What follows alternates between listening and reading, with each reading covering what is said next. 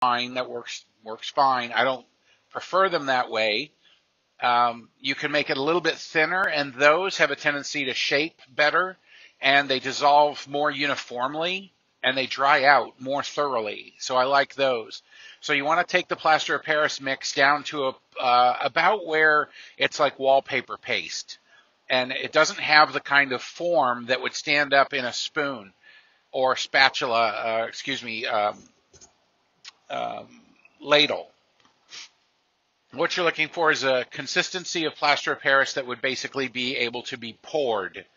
I make my pH pills in um, popover and muffin tins, and they don't need to be uh, they need to be cleaned, but they don't need to be uh, oiled or anything because when the pH pills are completely dry, they shrink very slightly, less than a millimeter, but they shrink, and that pulls them away from the metal in the the uh, pans. And so once they're completely dry, they, they will pop out.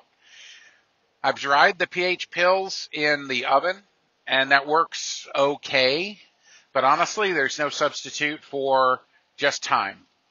Um, pouring them out, letting the uh, the tins dry. You can heat them if you want to, but just leave them sitting around for a couple of days and the pH pills will dry. When you pick them up, they feel light in your hand compared to the size they are. You'll go, wow, that's that's light, and that's when they're completely dry. They they're kind of chalky, and um, when you put them into the tank, I prefer to put them into the filtration so that they're in the stream of water and they dissolve more reliably. If you put a pH pill or pH puck into uh, the pond, they can just get covered with algae and they can stop dissolving. In the main water flow or in the waterfall or in the filtration system, they have a tendency to dissolve in a predictable fashion. If the water is very alkaline, they're going to dissolve very slowly. If the water is acid or depleted in carbonates, they're going to dissolve a lot faster.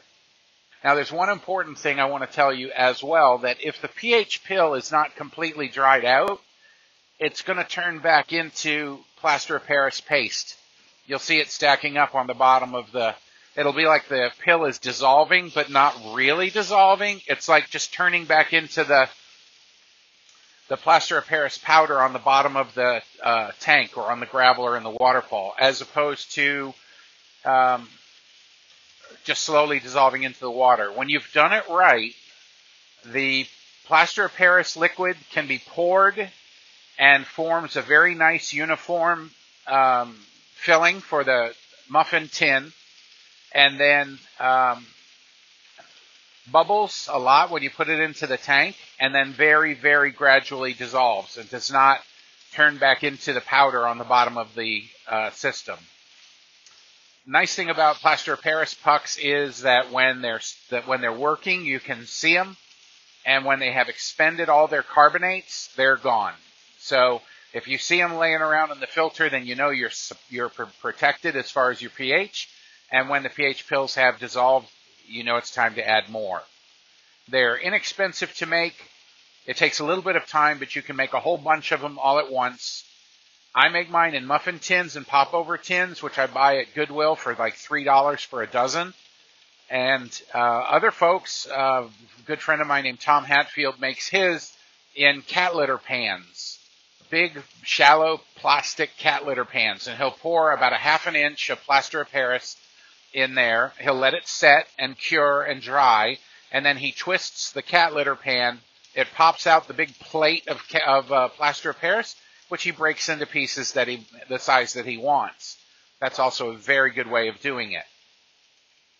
So that's the pH pill.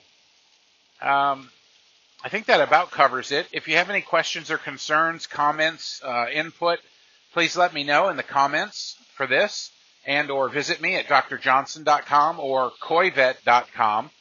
And uh, if you need any help, let me know. Thanks.